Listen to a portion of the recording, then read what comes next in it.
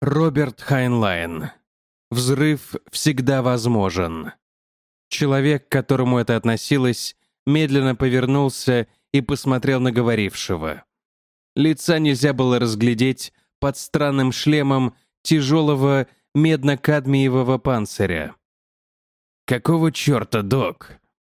Они смотрели друг на друга, как два гладиатора, ожидающие только сигнала к бою. Голос первого прозвучал из-под маски тоном выше и повелительнее. «Вы меня слышали, Харпер? Положите немедленно ключ и отойдите от этого триггера. Эриксон!» Из дальнего угла контрольного зала к ним приблизилась третья фигура в панцире. «В чем дело, док?» «Харпер отстранен от дежурства. Пошлите за его сменщиком. Дежурным инженером назначайтесь вы». «Хорошо».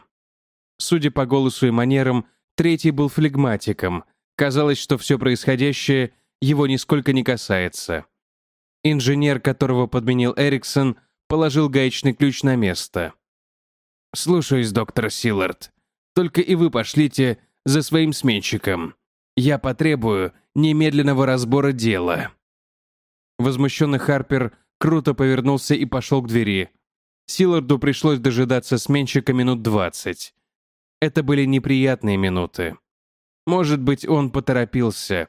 Возможно, он вообще напрасно решил, что Харпер не выдержал напряженной работы с самой опасной машиной в мире — комплексным атомным реактором. Но если он и ошибся, то ошибка в нужную сторону, ибо в этом деле заскоки недопустимы, потому что любой заскок может привести к атомному взрыву почти 10 тонн урана-238, урана-235 и плутония. Силард потребовал представить, что тогда будет. Ему это не удалось. Он слышал, что мощность атомного взрыва урана превосходит мощность тринитротолуола в 20 миллионов раз. Но эта цифра ничего ему не говорила. Он пытался думать о реакторе как о сотнях миллионов тонн самого сильного взрывчатого вещества или о тысячах Хиросим. И это тоже не имело смысла. Однажды он видел взрыв атомной бомбы. Его пригласили для проверки психической реакции персонала ВВС. Но он не мог себе представить взрыва тысячи таких бомб. Его разум отступал. Возможно, инженерам-атомщикам это удается. Возможно, с их математическими способностями и ясным пониманием процессов, происходящих там, в недрах реактора, они живо представляют себе, какое непостижимое ужасное чудовище заперто за щитом. Если это так, нет ничего удивительного, что их преследуют страх и искушение. Силард вздохнул. Эриксон оторвался от приборов линейного резонансного ускорителя. «Что случилось, док?» «Ничего. Мне жаль, что пришлось отстранить Харпера». Силард уловил подозрительный взгляд невозмутимого скандинава. «А вы часом сами не того, док? Иногда и белые мыши вроде вас тоже взрываются». «Я не думаю. Я боюсь этой штуковины. И был бы сумасшедшим, если бы не боялся». «Я тоже», — сумрачно ответил Эриксон и опять занялся настройкой регулятора ускорителя. Сам ускоритель находился за щитом ограждения. Его сопло, извергающее поток разогнанных до немыслимых скоростей элементарных частиц на бериллиевый стержень в центре самого реактора, исчезало за вторым щитом, расположенным между ускорителем и реактором. Под ударами этих частиц бериллий испускал нейтроны, которые разлетались во всех направлениях, пронизывая массу урана. Некоторые нейтроны, сталкиваясь с атомами урана, разбивали их и вызывали деление ядер. Осколки превращались в новые элементы — барий, ксенон, рубидий, в зависимости от того, как делилось ядро. Новые элементы, как правило, нестойкие изотопы, в процессе радиоактивного распада и цепной реакции, в свою очередь, делились на десятки других элементов. Но если вторичное превращение элементов не представляло особой опасности, то первичное, когда раскалывались атомы урана высвобождая энергию чудовищную и невообразимую, это превращение было самым важным и самым рискованным. Потому что уран, превращаясь под действиями бомбардировки нейтронами в атомное топливо, при делении тоже испускал нейтроны, которые могли попасть в другие атомы урана и, в свою очередь, вызвать их деление. Если возникали благоприятные условия для цепной реакции, она могла выйти из-под контроля и в какое-то неуловимое мгновение, в одну микросекунду, перерасти в атомный взрыв, перед которым атомная бомба показалась бы детской хлопушкой. Взрыв такой силы настолько превосходил бы все известное человечеству, что представить его было немыслимо, как нельзя представить собственную смерть. Этого можно бояться, но этого нельзя понять. И тем не менее, для того, чтобы промышленный атомный реактор работал, реакцию атомного распада необходимо было поддерживать на грани атомного взрыва. Бомбардировка ядер урана нейтронами бериллиевого стержня забирала гораздо больше энергии, чем ее высвобождалось при первичном делении. Поэтому для работы реактора было необходимо, чтобы каждый атом, расщепленный нейтронами бериллиевого стержня, в свою очередь вызывал расщепление других атомов. И в равной степени было необходимо, чтобы эта цепная реакция постоянно затухала. В противном случае вся масса урана взорвалась бы за такой ничтожно малый промежуток времени, что его невозможно было бы измерить никакими способами. Да и некому было бы измерять. Инженеры-атомщики контролировали работу реактора с помощью триггеров. Слово, под которым подразумевались линейный резонансный ускоритель, бериллиевый стержень, кадмиевые замедлители, контрольные приборы, распределительные щиты и источники энергии. Иначе говоря, инженеры могли понижать или повышать интенсивность нейтронного потока, уменьшая или увеличивая скорость реакции.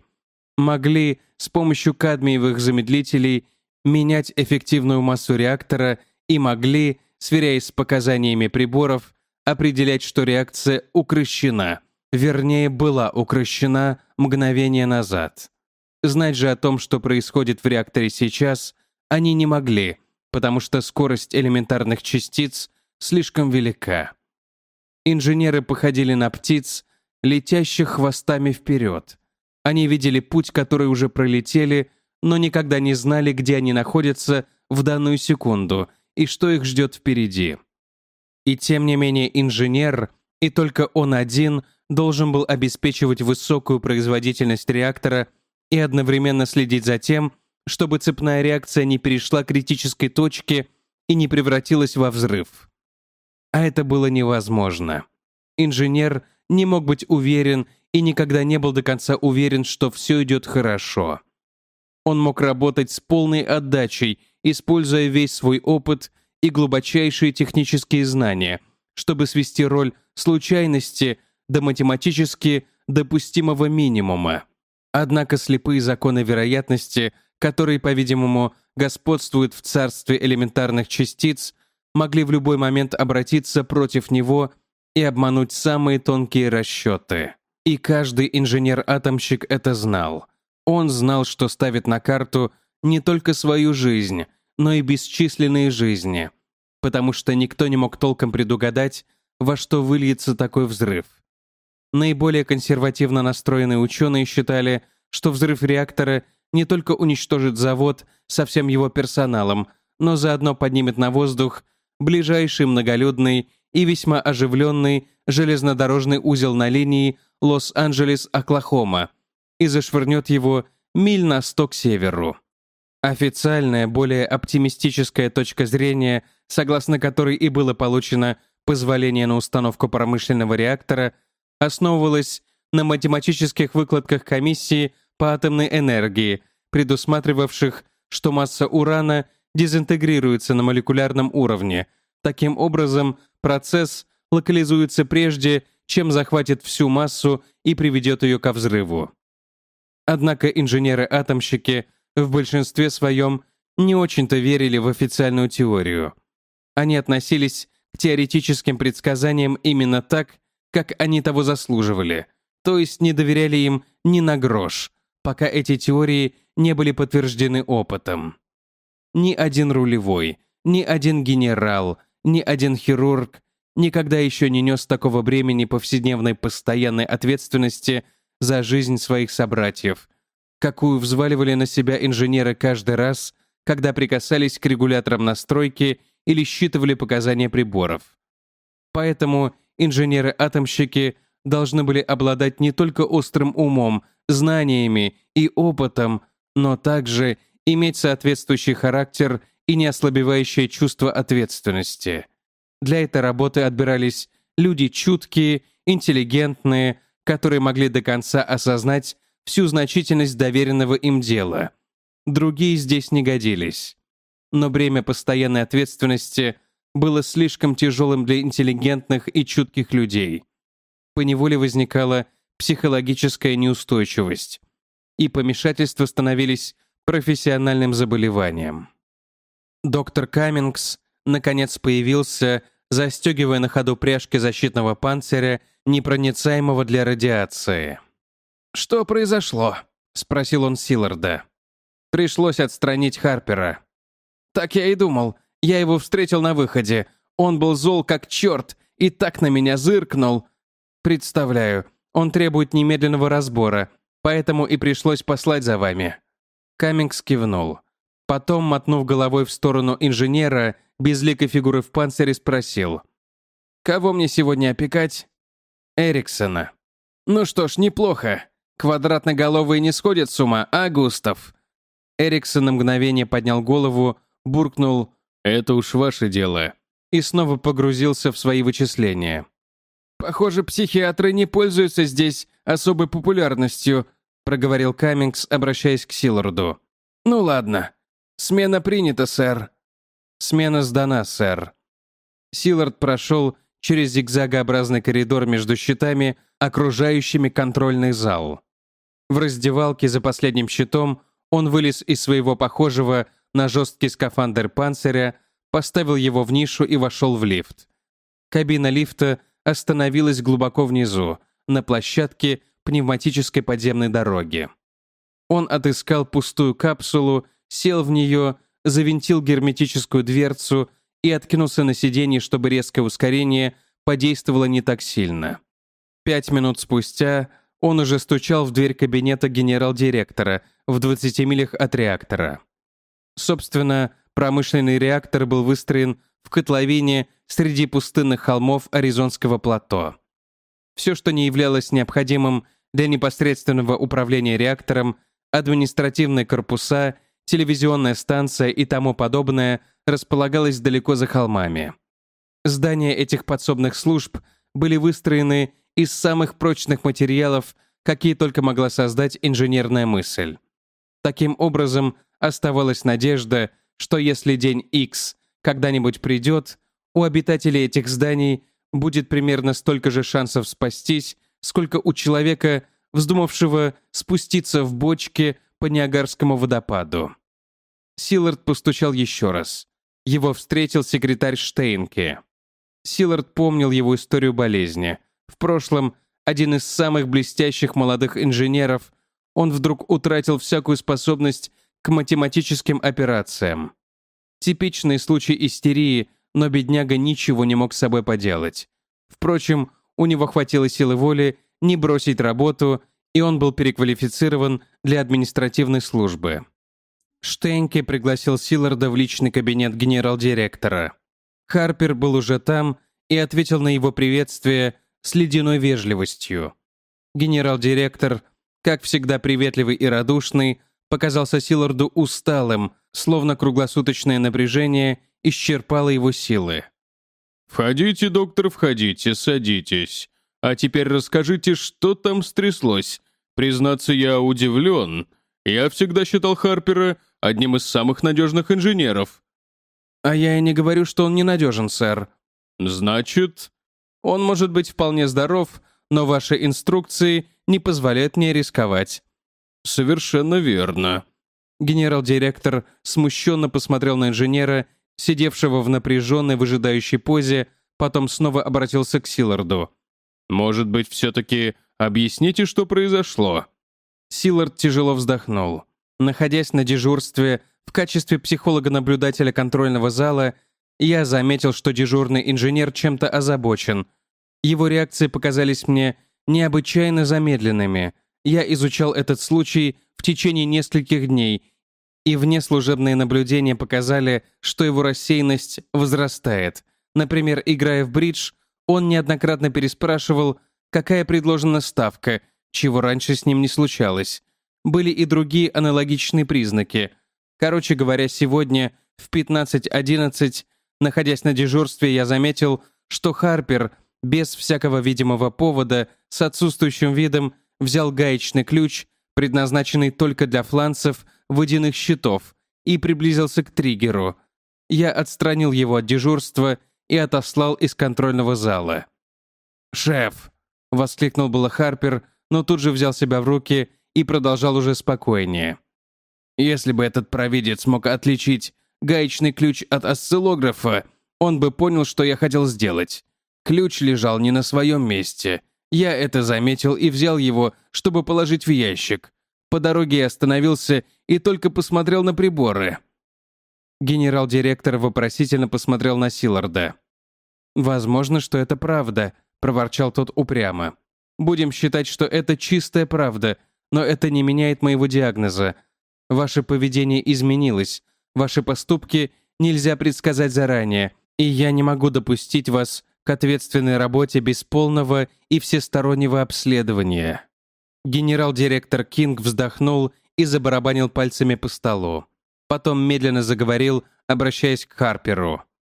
«Послушай ты, славный парень, и поверь мне, я знаю, каково тебе сейчас.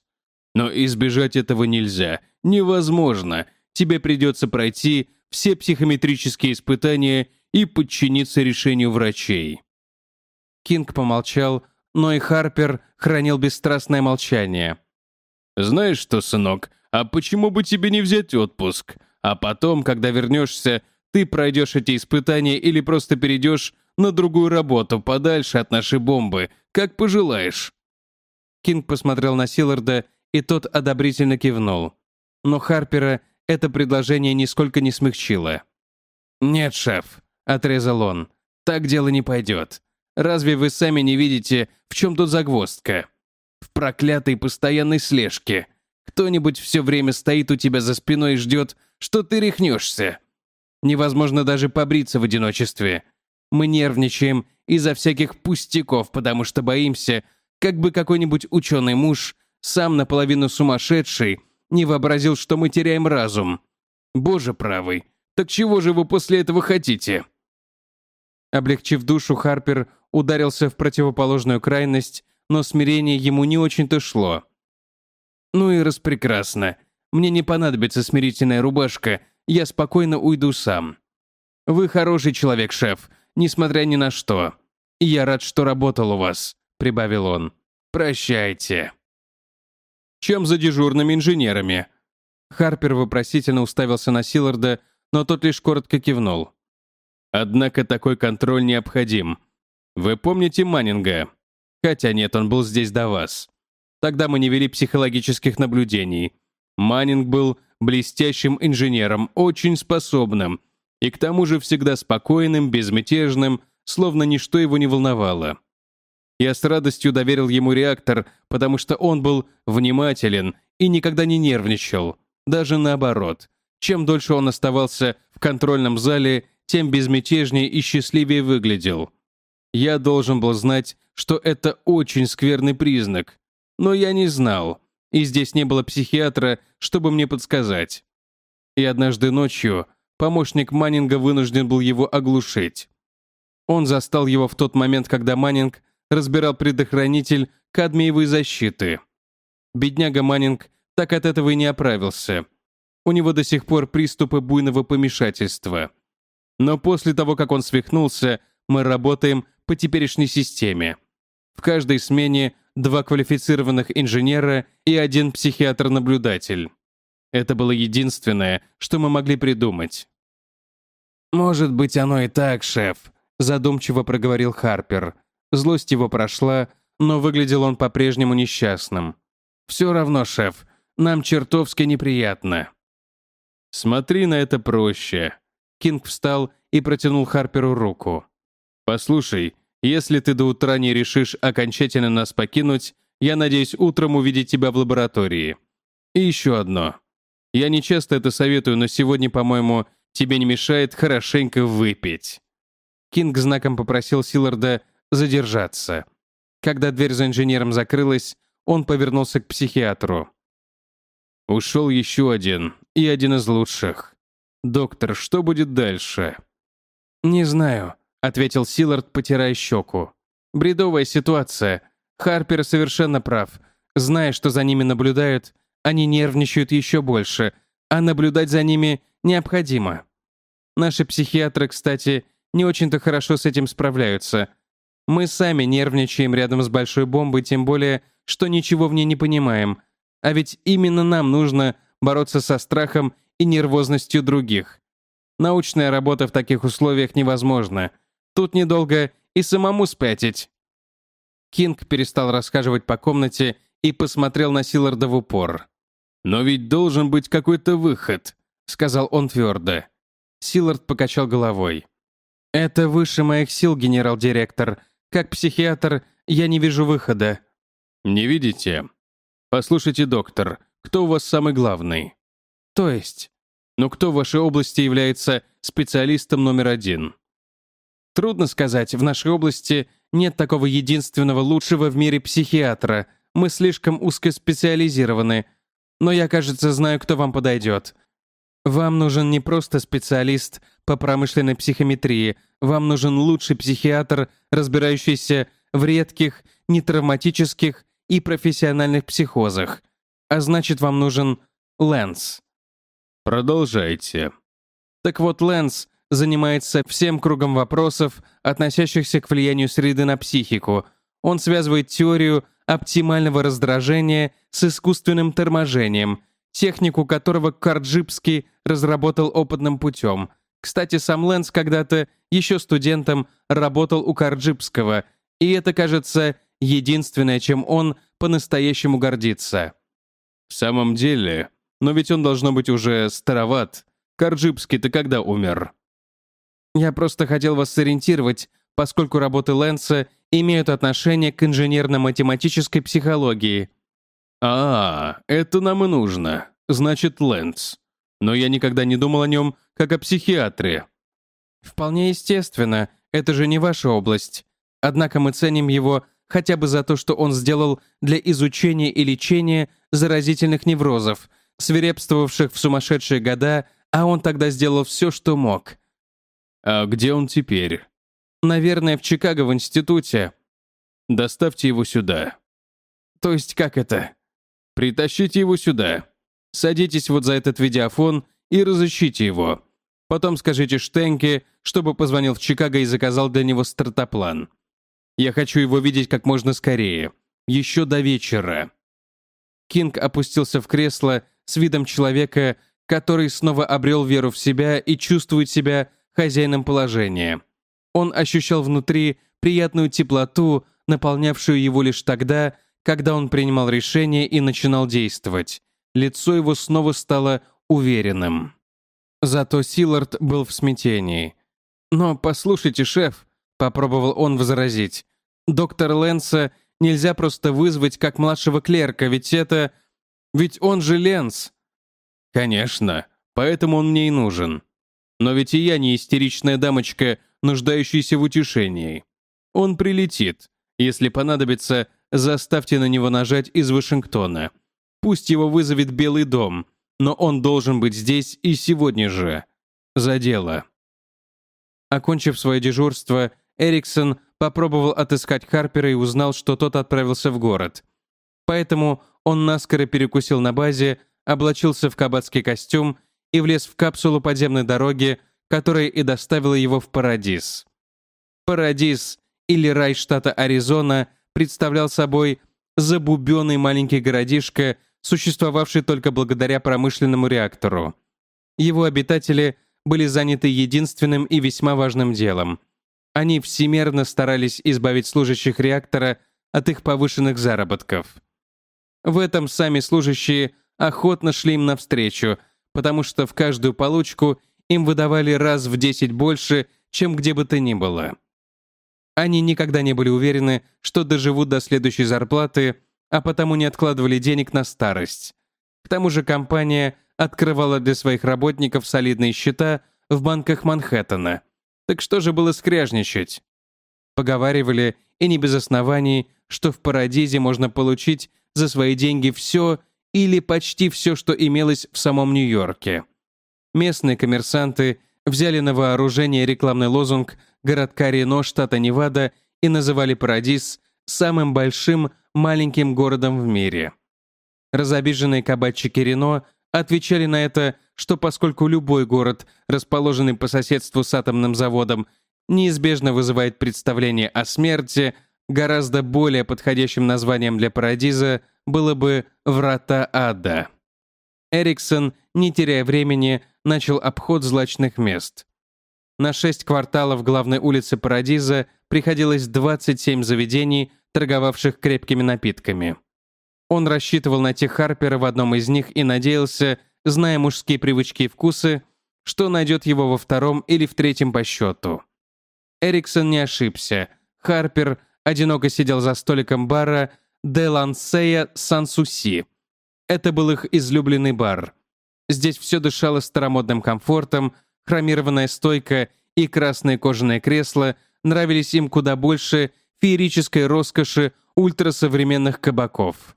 Де Лансей был консерватором, он предпочитал рассеянный полумрак и тихую музыку, а Адам требовал, чтобы они были одеты даже по вечерам. Пятая рюмка виски перед Харпером была еще на две трети полна. Эриксон показал ему три пальца. «А ну, сколько?» «Три», — отозвался Харпер. «Садись, Густав». «Правильно», — одобрил Эриксон, умещая свое долговязое тело в низком кресле. «Ты в порядке пока. Что случилось?» «Выпей. Нет, не это. Здесь виски ни к черту. Наверное, Лансе его разводит. А я совсем спекся». «Нет, Лансе этого делать не станет.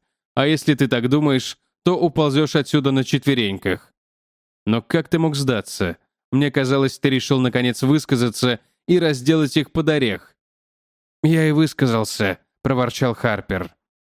«Все это чушь, Густав. Шеф прав. Если специалист по мозгам говорит, что ты рехнулся, он должен его поддержать и снять тебя с дежурства. Шеф не имеет права рисковать».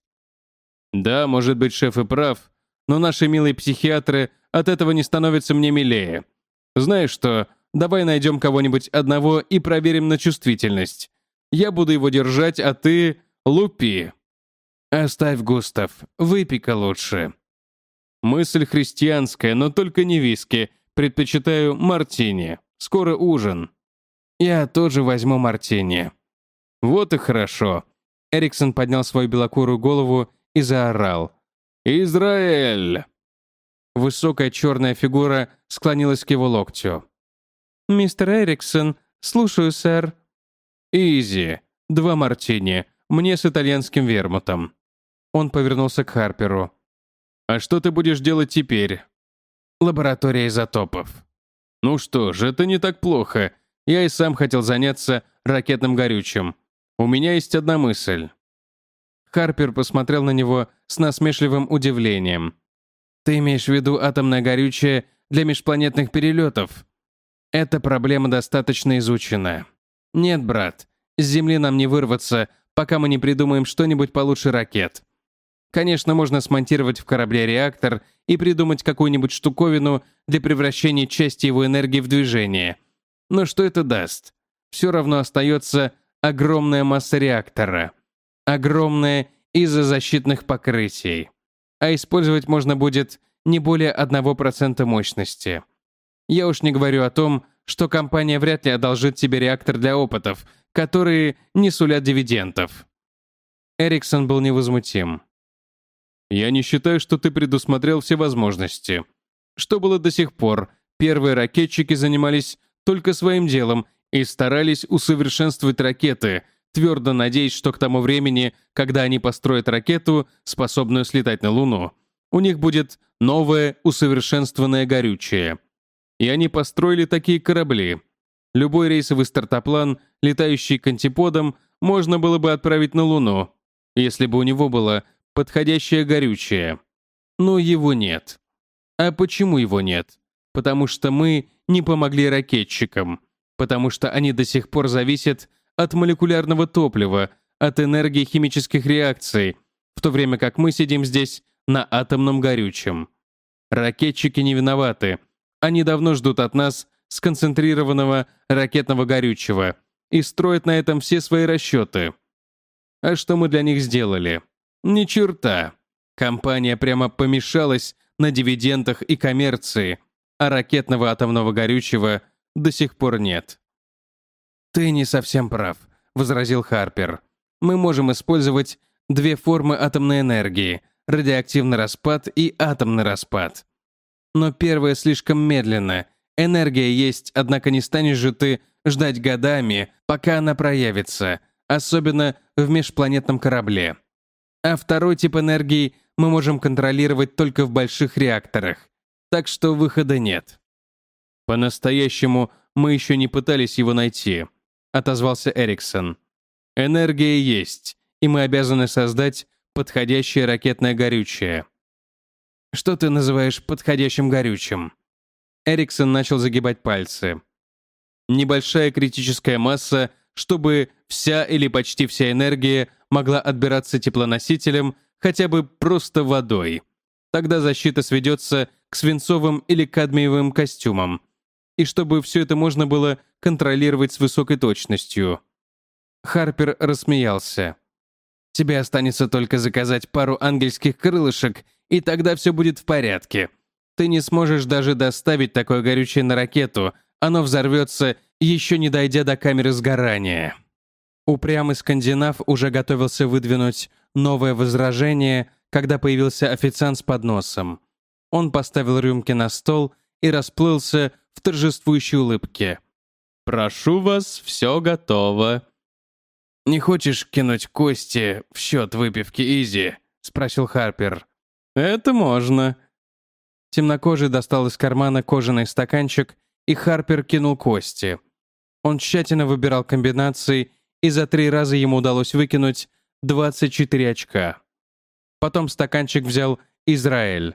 Он выбрасывал кости в лучшем стиле, раскачивая стаканчик в гибкой кисти и далеко закидывая его назад. После третьего раза, набрав 25 очков, темнокожий любезно спрятал в карман стоимость шести рюмок. Харпер пощупал пальцем костяные кубики. «Изи, «А это те же самые кости?» — спросил он. «Мистер Харпер». Лицо темнокожего приняло обиженное выражение. «Ну ладно, забудь», — вздохнул Харпер. «Зря я вздумал с тобой тягаться. За шесть недель я не выиграл еще ни разу. Так что ты хотел сказать, Густав?» «Я хотел сказать, что должен быть другой, более надежный способ получения энергии из...» Но тут их прервали.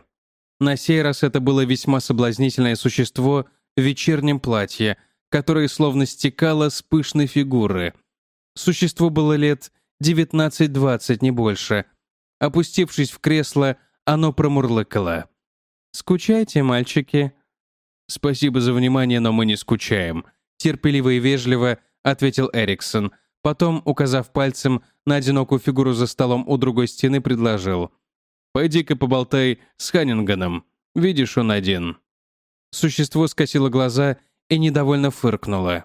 «Этот? От него никакого толку. Он так сидит здесь уже третью неделю. И ни с кем ни словечком не перемолвился. Если хотите знать, он уже тронулся». «В самом деле», — равнодушно проговорил Эриксон, доставая пятидолларовую бумажку. «Вот, пойди пока выпей. Может быть, мы позовем тебя позже». «Спасибо, мальчики». Деньги исчезли где-то под струящимся платьем, и она встала. «Спросите Элит, и я приду». «Ханниган и в самом деле плох», — согласился Харпер, отметив про себя мрачный взгляд и апатичное выражение лица одинокого посетителя. И последнее время он что-то слишком самоуверен. Это на него не похоже. Как думаешь, мы должны об этом сообщить? «Не беспокойся», — ответил Эриксон. «Здесь уже есть соглядатый, видишь?» Проследив за его взглядом, Харпер узнал доктора Мотта из психологического отдела. Он сидел в дальнем углу бара, вертя в руках высокий бокал, чтобы не бросаться здесь в глаза. Со своего места ему было очень удобно наблюдать не только за Ханниганом, но и за Харпером и Эриксоном. «Да, ты прав», — пробормотал Харпер.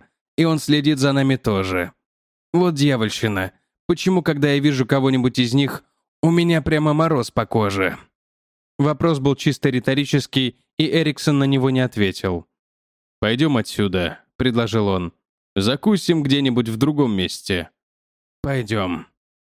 У выхода их перехватил сам Делансей. «Вы уходите так рано, джентльмены?» — спросил он, и по его голосу можно было догадаться, что после их ухода ему останется только закрыть бар. «Сегодня у нас превосходные омары. Если они вам не понравятся, можете за них не платить». Он широко улыбнулся. «Нет, Лансей, сегодня никаких даров моря», — объяснил ему Харпер. «Скажите мне лучше другое. Какого черта вы здесь околачиваетесь, зная, что реактор в любую минуту может отправить вас к праотцам. Неужели вы не боитесь?» Хозяин бара удивленно вскинул брови. «Бояться реактора? Да ведь это же мой лучший друг!» «Делает вам деньги, не так ли?» «О, об этом я даже не думаю». Делансе доверительно наклонился к ним. «Пять лет назад я приехал сюда, чтобы быстро подработать для моей семьи, пока меня не сгрыз рак желудка. Но в клинике новые изотопы, которые вы, джентльмены, создаете в своей большой бомбе. Они излечили меня, и я вновь живу. Нет, я не боюсь реактора. Мы с ним хорошие друзья. А что, если он взорвется? Господь Бог призовет меня, когда я ему понадоблюсь, ответил он и быстро перекрестился. Когда они уже уходили, Эриксон тихо сказал Харперу. «Ты слышал? Вот тебе и ответ. Если бы все инженеры могли так же верить, наша работа была бы куда легче». Но Харпер не был в этом убежден. «Не думаю», — проворчал он. «Не думаю, чтобы это была вера. Просто недостаток воображения и знаний». Ленс не оправдал самоуверенности Кинга и прибыл только на следующий день. Его внешность невольно поразила генерал-директора. Он представлял себе выдающегося психолога этаким длинноволосым старцем с черными пронизывающими глазами и в рединготе. Но перед ним предстал крепко сколоченный, почти толстый мужчина хорошего роста, который с тем же успехом мог бы сойти за мясника. Маленькие поросячьи глазки блекло-голубого цвета добродушно посматривали из-под кустистых белесых бровей. Больше на его огромной голове не было ни волоска. Даже круглый, как яблоко, подбородок был гладким и розовым.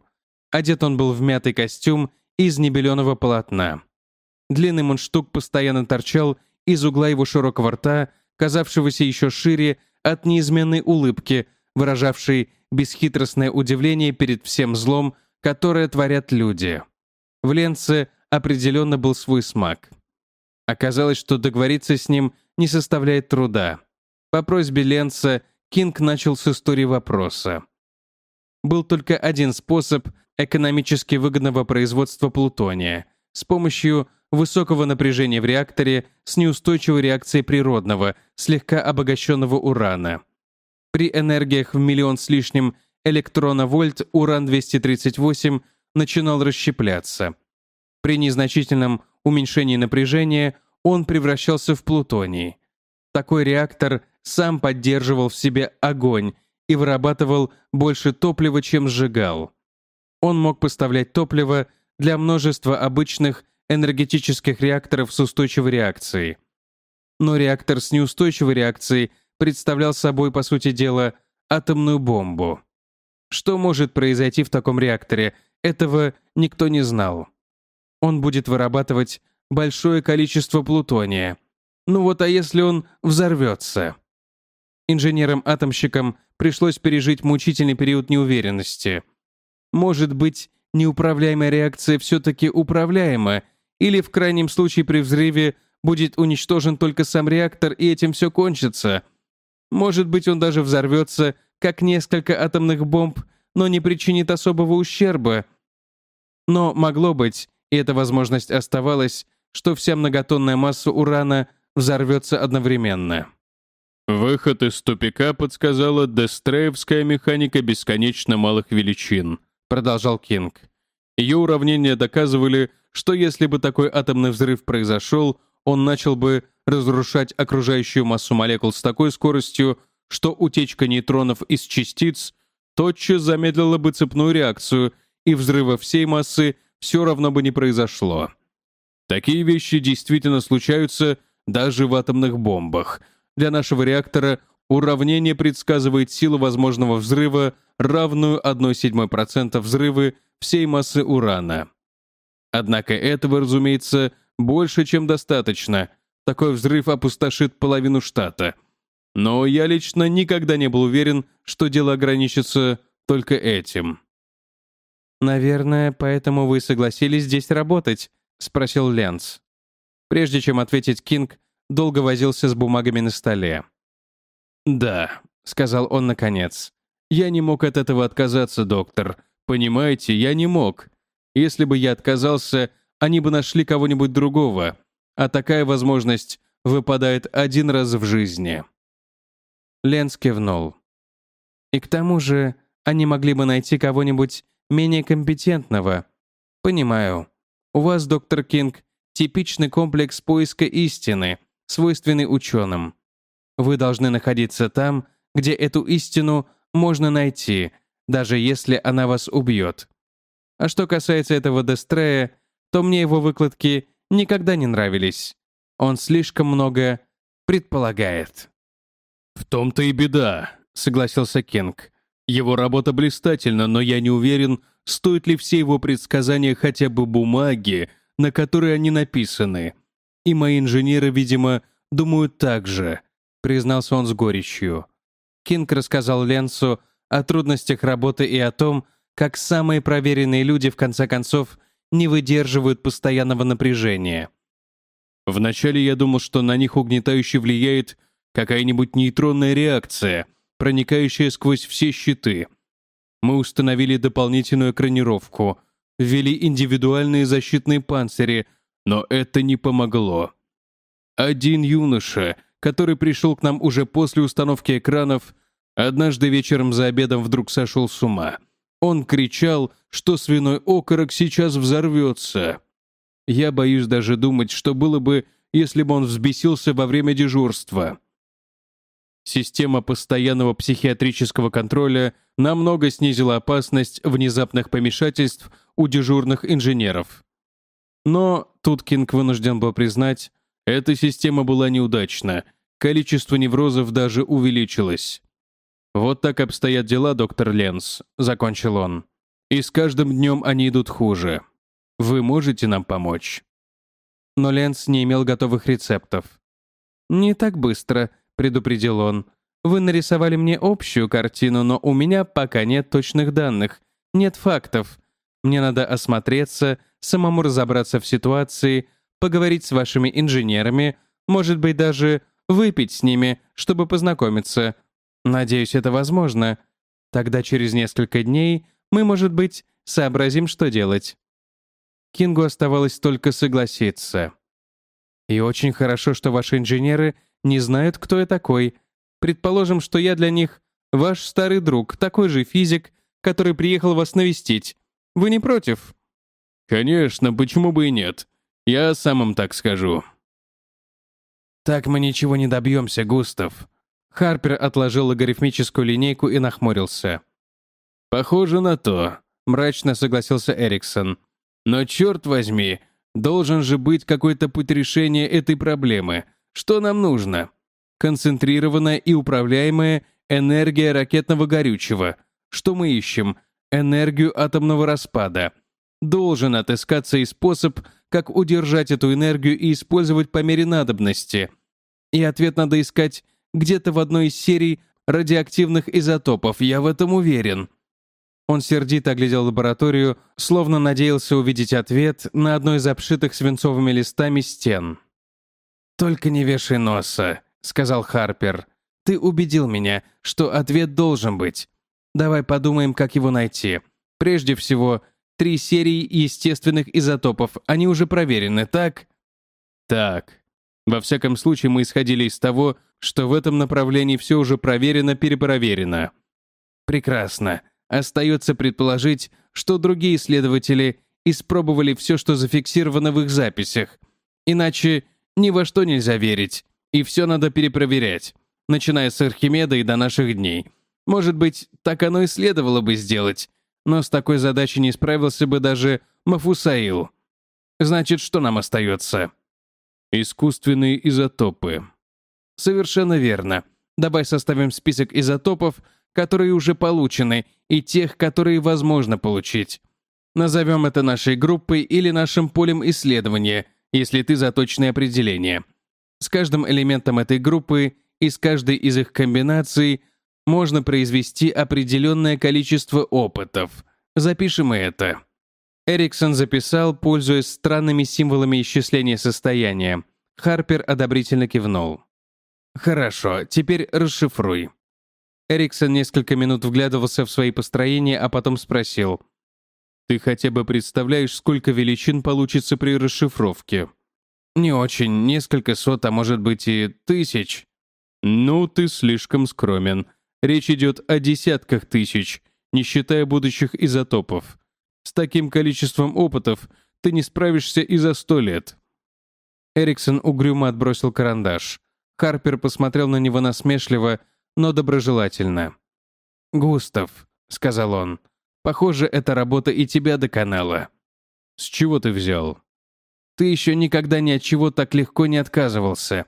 Разумеется, мы с тобой никогда не перепробуем всех комбинаций и в худшем случае только избавим кого-нибудь другого от повторения наших ошибок. Вспомни Эдисона. 60 лет бесконечных опытов по 20 часов в день. А ведь он так и не нашел того, что искал. Но если он мог это выдержать, я думаю, мы тоже сможем. Эриксон уже до какой-то степени стряхнул уныние. «Наверное, сможем», — согласился он. «Может быть, даже нам удастся придумать какое-нибудь приспособление, чтобы ставить несколько опытов одновременно». Харпер хлопнул его по плечу. «Узнаю старого бойца. А кроме того, нам ведь совсем не обязательно проверять все комбинации, чтобы отыскать подходящее горючее. Насколько я понимаю, на наш вопрос должно быть 10, а может быть и 100 правильных ответов. И мы можем натолкнуться на любой из них хоть сегодня. Во всяком случае, если ты будешь мне помогать в свободное время, я не выйду из игры, пока не поймаю черта за хвост. Ленс за несколько дней облазил весь завод и административные службы и успел примелькаться. Все привыкли к нему и охотно отвечали на вопросы. На него смотрели как на безобидного чудака, которого приходится терпеть, потому что он друг генерал-директора. Ленс сунул свой нос даже в коммерческий отдел предприятия и выслушал подробнейшие объяснения о том, как энергия реактора превращается в электричество с помощью усовершенствованных солнечных батарей. Одного этого было достаточно, чтобы отвести от него последние подозрения, потому что психиатры никогда не обращали внимания на прошедших огонь и воду техников отдела превращения энергии. В этом не было нужды.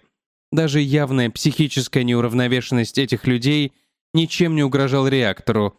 Да они и не испытывали убийственного гнета ответственности перед родом человеческим. Здесь шла обычная работа.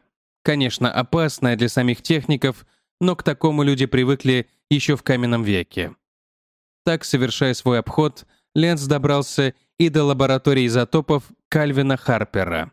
Он позвонил, подождал, дверь открыл сам Харпер в защитном шлеме с откинутым забралом. Казалось, он напялил на себя какой-то дурацкий колпак. «В чем дело?» — спросил Харпер. «О, это вы, доктор Ленц. Вы хотели меня видеть?» «Собственно, и да, и нет», — ответил Толстяк. «Я просто осматривал экспериментальные корпуса, и мне захотелось узнать, что вы здесь делаете. Но, может быть, я помешал?» «Нисколько. Заходите. Густав». Эриксон вышел из-за щита, где он возился силовыми кабелями лабораторного триггера, скорее видоизмененного бетатрона, чем резонансного ускорителя. «Hello», — сказал он. «Густав, это доктор Ленс. Познакомьтесь. Густав Эриксон». «Мы уже знакомы», — отозвался Эриксон, стаскивая перчатки, чтобы поздороваться. Он два раза выпивал с Ленсом в городе и считал его милейшим стариком. «Вы попали в антракт, но подождите немного, и мы покажем вам очередной номер. Хотя смотреть по совести нечего». Пока Эриксон готовил опыт, Харпер водил Ленса по лаборатории и объяснял смысл их исследований с такой гордостью, с какой счастливый папаша показывает своих близнецов. Психиатр слушал, время от времени вставлял подходящие замечания, но главным образом приглядывался к молодому инженеру, пытаясь обнаружить признаки неуравновешенности, о которых говорилось в его деле. «Видите ли», — с явным увлечением объяснял Харпер, «мы испытываем радиоактивные изотопы, чтобы вызвать такой же их распад, как в реакторе, но только в минимальных, почти микроскопических масштабах. Если это нам удастся, можно будет использовать нашу большую бомбу для производства безопасного, удобного атомного горючего для ракет и вообще для чего угодно. Он объяснил последовательность экспериментов. «Понимаю», — вежливо сказал Ленс. «Какой элемент вы изучаете сейчас?» «Дело не в элементе, а в его изотопах», — поправил его Харпер. «Мы уже испытали изотоп 2, и результат отрицательный. По программе следующим идет изотоп 5, вот этот». Харпер взял свинцовую капсулу и показал Ленсу образец. Потом быстро прошел защит, ограждающий бетатрон. Эриксон оставил камеру открытой, и Ленс видел, как Харпер, предварительно опустив забрало шлема, раскрыл капсулу и манипулировал с помощью длинных щипцов. Через минуту он завинтил камеру и опустил заслонку. «Густав, как там у тебя?» — крикнул он. «Можно начинать». «Пожалуй, начнем», — проворчал Эриксон. Он выбрался из хаоса аппаратуры, и они зашли за толстый щит из многослойного металлобетона, который заслонял их от бетатрона. «Мне тоже надеть защитный панцирь?» — спросил Ленс. «Незачем», — успокоил его Эриксон. «Мы носим эти латы, потому что крутимся возле этих штуковин каждый день. А вы просто не высовывайтесь из-за щита, и все будет в порядке». Эриксон посмотрел на Харпера, тот утвердительно кивнул и впился взглядом в приборы. Ленс увидел, что Эриксон нажал кнопку посреди приборной доски, потом услышал щелканье многочисленных реле там, по ту сторону щита. На мгновение все стихло. Пол затрясся у него под ногами в судорожных конвульсиях.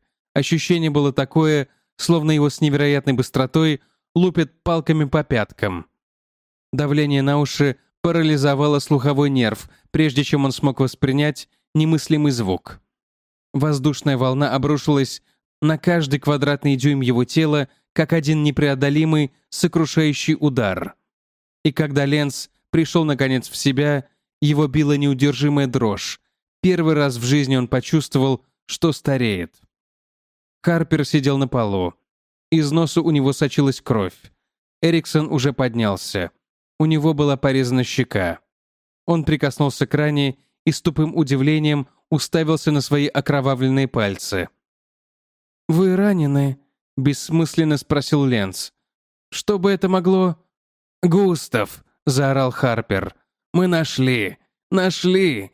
Изотоп 5 сработал!» Эриксон посмотрел на него с еще большим удивлением. «Пять?» — недоуменно переспросил он. «При чем здесь пять? Это был изотоп 2. Я заложил его сам». «Ты заложил. Это я заложил образец. И это был изотоп 5, понятно?» Все еще оглушенные взрывом, они стояли друг против друга, и, судя по выражению их лиц, каждый считал другого упрямым тупицей. «Постойте, мальчики», — нерешительно вмешался Ленс. «Может быть, вы оба правы. Густав, вы заложили в камеру изотоп-2». «Ну, конечно, я был недоволен результатом предыдущего опыта и решил его повторить». «Джентльмены, значит, во всем виноват я», — радостно признался Ленс. «Я пришел, отвлек вас, а вы оба зарядили камеру. Во всяком случае, я знаю, что Харпер это сделал, потому что я сам видел, как он закладывал изотоп-5. Прошу меня извинить». Лицо Харпера осветилось, и он в восторге хлопнул толстяка по плечу. «Не извиняйтесь», — воскликнул он хохоча.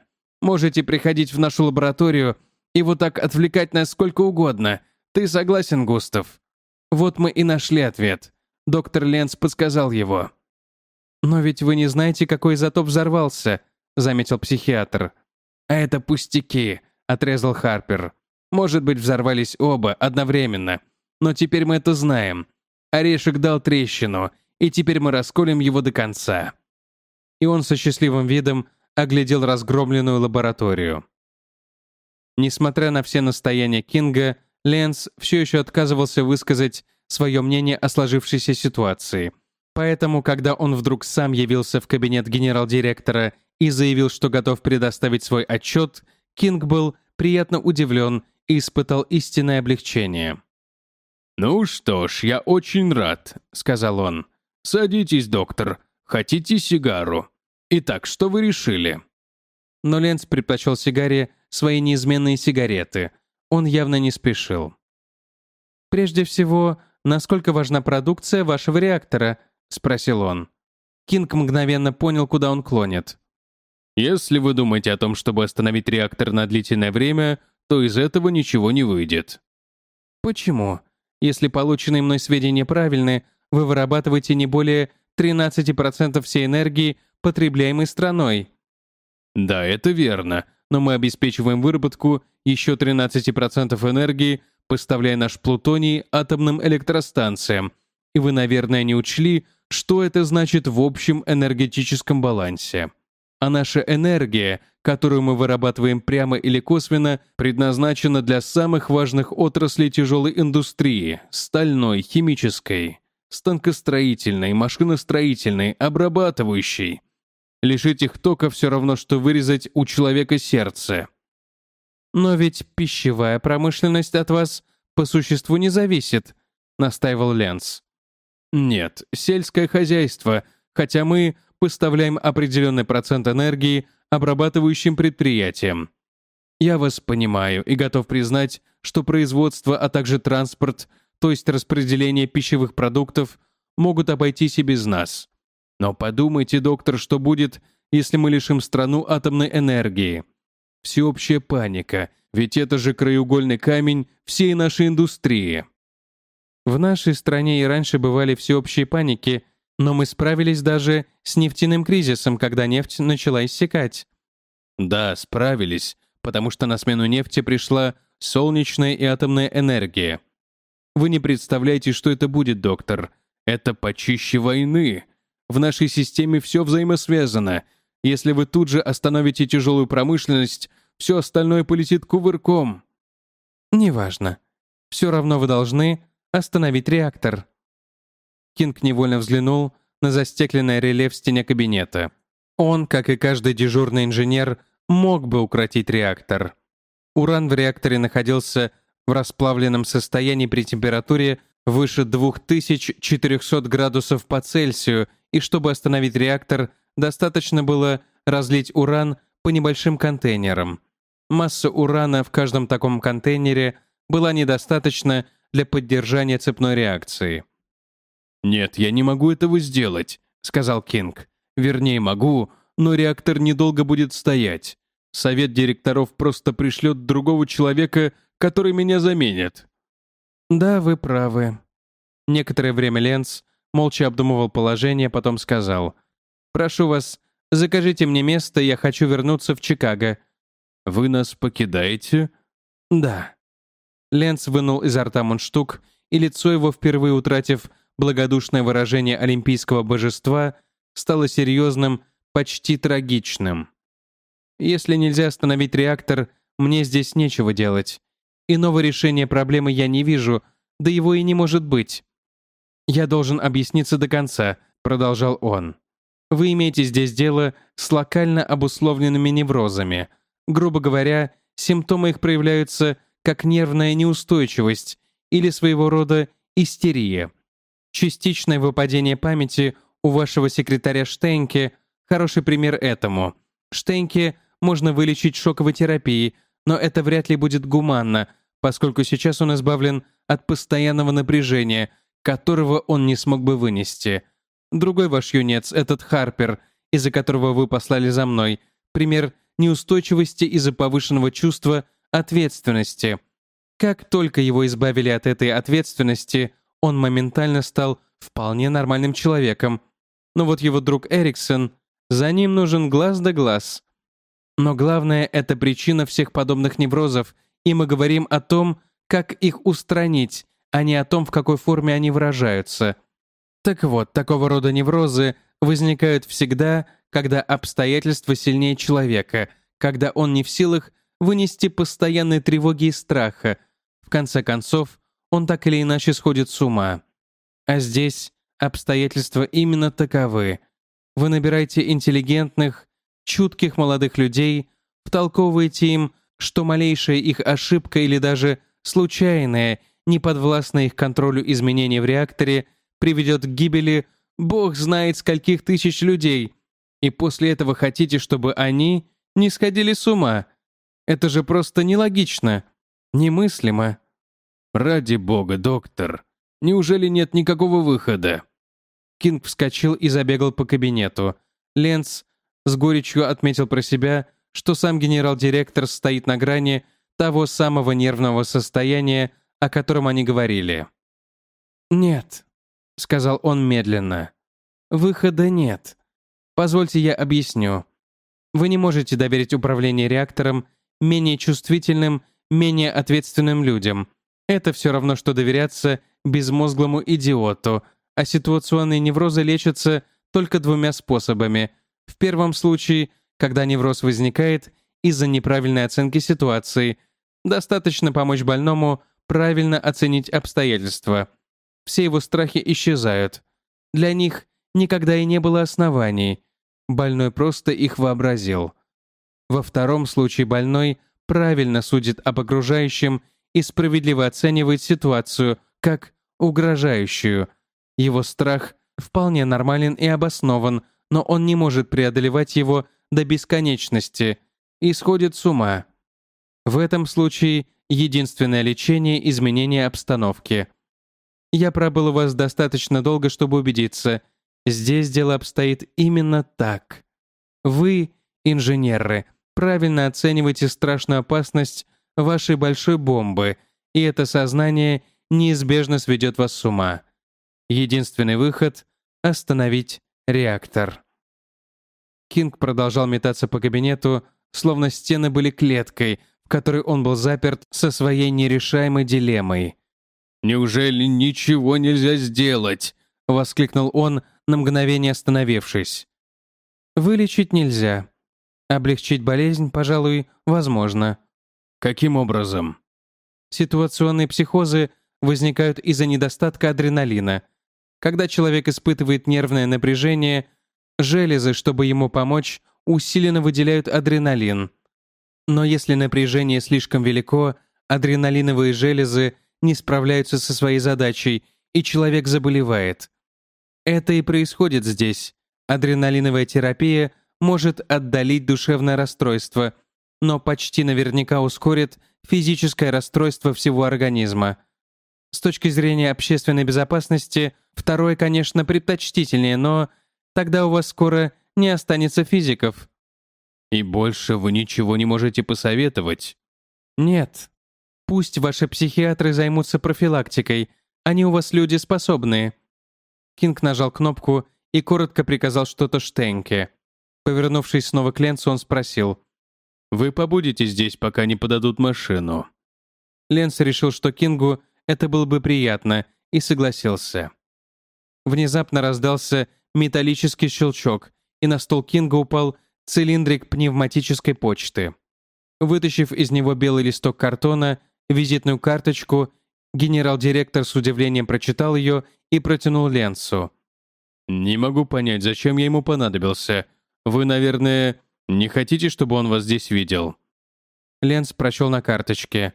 Томас Р. Харрингтон, доктор математики, капитан ВМС США, директор морской обсерватории. «Нет, почему же?» — возразил он. Мы с ним знакомы, и я буду только рад». Харрингтон был явно чем-то озабочен. Он вздохнул с облегчением, когда Штейнке, пропустив его в кабинет, исчез в соседней комнате и тут же заговорил, обращаясь к Ленцу, который сидел ближе к двери. «Вы, мистер Кинг? Постойте, да это же Ленц. Что вы здесь делаете?» «Я здесь по приглашению», — ответил Ленц совершенно правдиво, но не полно, здоровый с Харрингтоном за руку. «Знакомьтесь, генерал-директор Кинг, капитан Харрингтон». «Как поживаете, капитан? Рад вас видеть». «Для меня большая честь познакомиться». «Садитесь, прошу вас». «Благодарю». Харрингтон сел, положив на угол стола свой портфель. «Вы, конечно, хотите знать, зачем я к вам явился вот так вот без приглашения». «Я счастлив познакомиться». В действительности же все эти церемонии были уже слишком для натянутых нервов Кинга. «Вы очень любезны, но... Кстати, нельзя ли сделать так, чтобы ваш секретарь, который меня впустил, забыл мое имя? Я понимаю, что это кажется вам странным, но...» «Совсем нет, я ему скажу». Кинг был заинтригован и решил не отказывать своему выдающемуся коллеге в таком пустяке. Он вызвал Штенки к видеофону и отдал соответствующее приказание. Ленц встал, показывая, что уже давно собирается уйти. Уловив взгляд Харрингтона, он пояснил. «Я полагаю, вы хотите поговорить наедине». Кинг вопросительно посмотрел на него, потом на Харрингтона, потом опять на Ленца. «Я лично ничего не имею против», — запротестовал астроном после секундной заминки. «Решайте сами, доктор Кинг. Честно говоря, я буду только рад, если Ленц останется».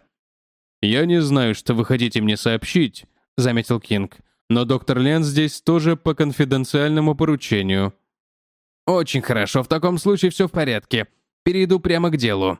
Доктор Кинг, вы знакомы с механикой бесконечно малых величин?» «Разумеется». Ленц подмигнул Кингу, но тот предпочел этого не заметить.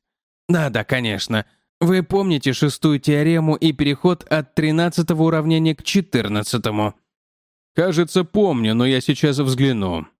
Кинг встал и направился к шкафу, но Харрингтон остановил его нетерпеливым жестом. «Не беспокойтесь, у меня все здесь».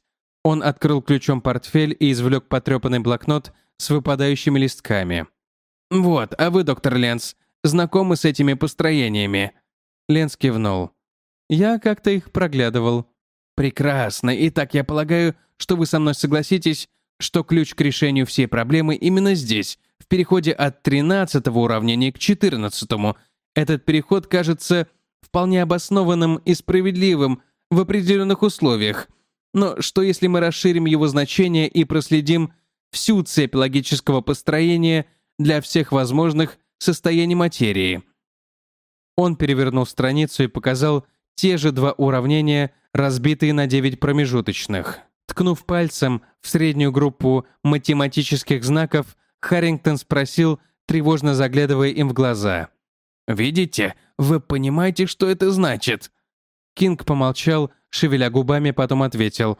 «Да, кажется, я понимаю. Странно. Да, так оно и есть». Харрингтон должен был бы обрадоваться, но он только тяжело вздохнул. «Я надеялся, что хотя бы вы найдете ошибку», — проговорил он, чуть не плача. «Но, боюсь, теперь надеяться не на что». Дестрей сделал допущение, действительное для молекулярной физики, однако у нас нет ни малейшей уверенности, что оно действительно для физики атомной. Я полагаю, вы сознаете, что это значит для вас, доктор Кинг?» Голос Кинга превратился в хриплый шепот. «Да», — сказал он. «Да, это значит, что если наша большая бомба взорвется, она взорвется мгновенно и целиком, а не так, как предполагал Дестрей. И тогда один бог знает, что здесь останется». Капитан Харрингтон откашлялся. И тут заговорил Ленц. «А что, если мы проверим ваши расчеты, и они окажутся непогрешимыми? Что дальше?» Харрингтон всплеснул руками. «Я для того сюда и приехал, чтобы спросить вас, что будет дальше?» «Дальше «Ничего», — угрюмо сказал генерал-директор. «Ничего сделать нельзя». Харрингтон уставился на него с нескрываемым изумлением. «Но послушайте», — взорвался он наконец, «разве вы не понимаете? Ваш реактор необходимо демонтировать и немедленно». «Успокойтесь, капитан». Невозмутимый голос Ленца был словно холодный душ. «И не надо злиться на бедного Кинга. Все это волнует его больше, чем вас. Поймите его правильно. Речь идет не о физической проблеме, а о политической и экономической. Скажем так, остановив реактор, Кинг уподобился бы крестьянину, который оставил бы свой дом, виноградник, скот и семью на склонах Везувия и сбежал, потому что когда-нибудь могло произойти извержение вулкана. Этот реактор не принадлежит Кингу, он всего лишь служащий. Если он остановит реактор против воли владельцев, они просто вышвырнут его за порог и наймут другого, более покладистого. Нет, нам необходимо убедить хозяев. «Президент мог бы их заставить», — высказал предположение Харрингтон. «Я могу обратиться к президенту». «Разумеется, можете, по инстанции, через свой департамент. Возможно, вы его даже убедите. Но что он сделает?» «Как что? Все, ведь он же президент». «Подождите, вот вы, например, директор морской обсерватории. Представьте, что вы взяли молоток и вознамерились разбить главный телескоп. Что у вас выйдет?» «Да, пожалуй, ничего», — согласился Харрингтон. «Мы с нашего малютки глаз не спускаем. Охрана...» «Так и президент ничего не может решать самовластно», — продолжал Ленц. «Допускаю, тут еще мог бы повлиять Конгресс, поскольку комиссия по атомной энергии от него зависит.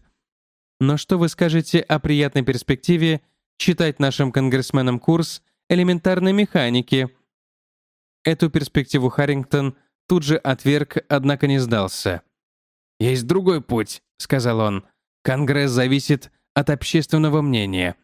Нам нужно только убедить народ, что реактор представляет собой смертельную угрозу для всего человечества. А это можно сделать и не прибегая к высшей математике». «Да, конечно», — согласился Ленц. «Вы можете поднять шум и перепугать всех до полусмерти. Вы можете вызвать такую панику, какой еще не видела даже эта полусумасшедшая страна. Ну уж нет, спасибо. Хорошо, но что в таком случае предлагаете вы? Ленц немного подумал, прежде чем ответить. Это почти безнадежно, однако попробуем вколотить в головы директоров компании хоть крупицу здравого смысла. Кинг, который, несмотря на усталость, внимательно следил за разговором, спросил. «А как вы это сделаете?» «Не знаю», — признался Ленц. «Мне надо подумать, но это, мне кажется, самым верным путем. Если у нас ничего не выйдет, можно вернуться к варианту Харрингтона, к широкой компании в печати». Харрингтон взглянул на часы довольно необычной формы и присвистнул. «Боже правый, я забыл о времени. Официально я сейчас должен быть в Центральной обсерватории». Кинг невольно заметил время, которое показывали часы Харрингтона. «Сейчас не может быть так поздно», — возразил он.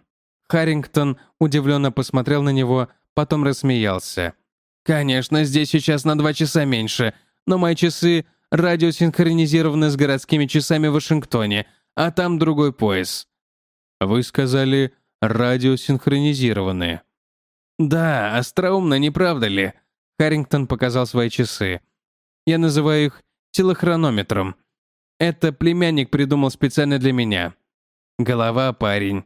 Он далеко пойдет. Конечно, лицо его омрачилось, словно эта маленькая интерлюдия только подчеркнула весь ужас, нависший над ним угрозой. Конечно, если кто-нибудь из вас останется в живых. Вспыхнула сигнальная лампочка, на экране возникло лицо Штенки. Кинг выслушал его и сказал. «Машина ждет вас, доктор Ленс. Пусть ею воспользуется капитан Харрингтон». «Значит, вы не улетаете в Чикаго?» «Нет, ситуация изменилась. Если вы не против, я еще попытаюсь кое-что сделать». В следующую пятницу, когда Штейнке ввел Ленца в кабинет Кинга, тот встретил гостя чуть ли не с распростертыми объятиями. «Откуда вы взялись, доктор? Я не ждал вас раньше, чем через час-два». «Только что прибыл. Чтобы не ждать, я нанял машину. Что-нибудь удалось? Ничего. Они твердят свое, независимые эксперты утверждают, что расчеты Дестрея безупречны. А потому компания не потерпит истерических настроений среди своих служащих. Кинг забарабанил по столу, уставившись в пространство. Потом он круто повернулся к Ленцу и сказал, «А вы не считаете, что президент компании прав?» «Что вы имеете в виду?» «Может быть, мы все трое, вы, я и Харрингтон, попросту заработались и свихнулись?» «Исключено». «Вы уверены?» «Абсолютно. Я нашел других, независимых экспертов, которые не работают на компанию, и дал им проверить расчеты Харрингтона. Все сходится. Ленс не стал упоминать о том, что устроил эту проверку отчасти потому, что не был до конца уверен в здравом смысле самого генерал-директора. Кинг резко наклонился и нажал кнопку. «Сделаем еще одну попытку», — объяснил он. «Посмотрим, удастся мне напугать этого болвана Диксона или нет. Штейнке, соедините меня с мистером Диксоном». «Слушаю, сэр». Минуты через две экран видеофона ожил, и на нем возникла физиономия президента компании Диксона. Он был не у себя, а в зале совета директоров энергетической компании в Джерси-Сити. «Да», — сказал Диксон, — «это вы, генерал-директор». Голос его был одновременно ворчлив и добродушен.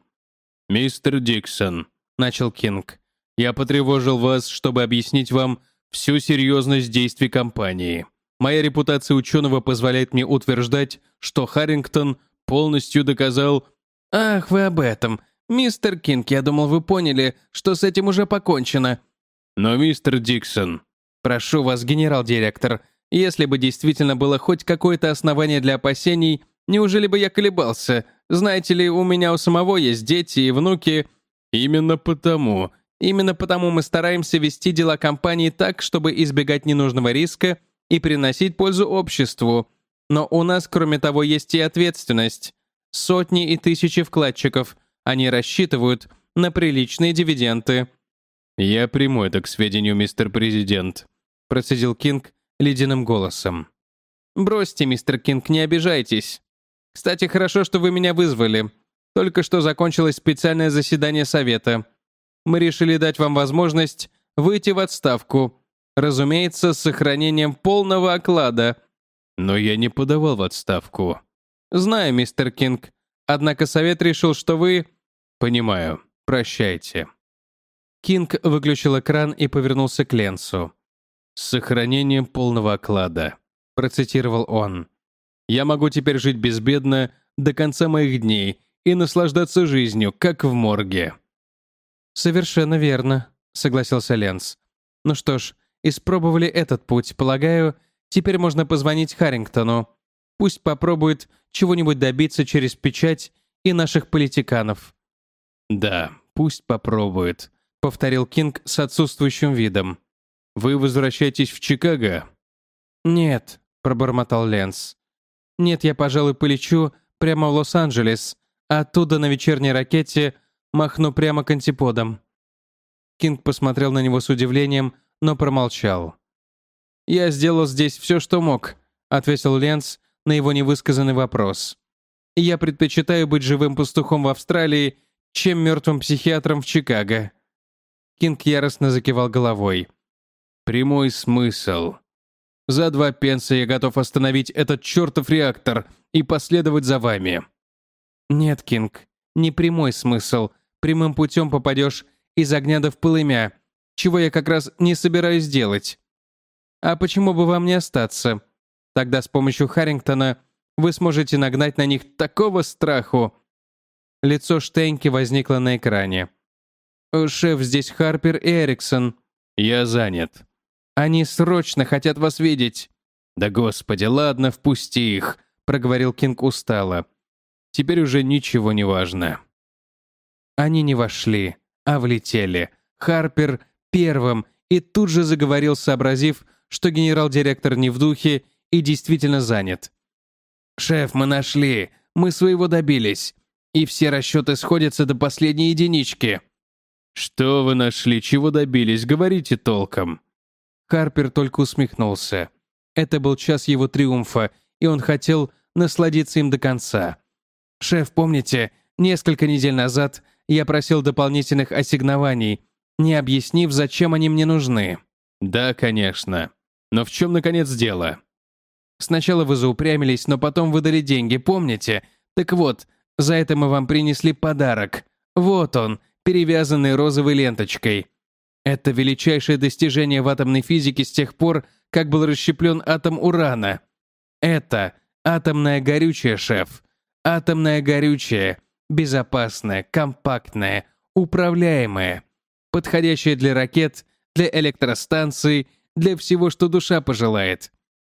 Кинг, наконец, заинтересовался.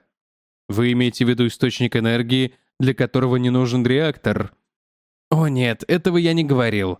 Наш большой реактор нужен для производства горючего, но потом вы можете использовать это горючее где угодно и как угодно, извлекая из него до 92% энергии. Но если хотите, можете и уменьшить отдачу». Дикая надежда — что, может быть, это и есть выход из безвыходного тупика рухнуло. Кинг сник. «Продолжайте», — сказал он. «Рассказывайте все». Так вот, все дело в радиоактивных изотопах. Как раз перед тем, как мы попросили дополнительное ассигнование на исследование, Эриксон и я... Доктор Ленс тоже приложил свою руку, добавил он, благодарно кивнув психиатру. Мы обнаружили два взаимно антагонистичных изотопа — то есть, когда их соединяешь, они тут же выделяют всю заложенную в них энергию, взрываются ко всем чертям. Но самое главное в том, что мы брали ничтожные крохи. Реакция протекает при самой незначительной массе. «Не понимаю, как это может быть», — заметил Кинг. «И мы не понимаем. Но так оно и есть. Мы молчали, пока сами в этом не убедились. Но потом мы начали пробовать, и нашли еще дюжину различных атомных горючих. Возможно, если попотеть, мы сможем скомбинировать горючее для любых целей. Вот здесь все изложено.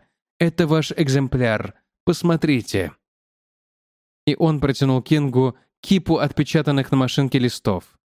Кинг погрузился в них. Ленс, попросив взглядом позволения у Эриксона, который одобрительно хмыкнул «Ну, конечно», тоже начал читать. По мере того, как Кинг просматривал страницу за страницей, чувство издерганного и обиженного служаки постепенно оставляло его. Он становился тем, кем был на самом деле — ученым. Его охватывал чистый и сдержанный экстаз беспристрастного искателя истины. Кровь молчала, сейчас ее задача сводилась к тому, чтобы насыщать мозг и поддерживать в нем холодное пламя обостренной мысли.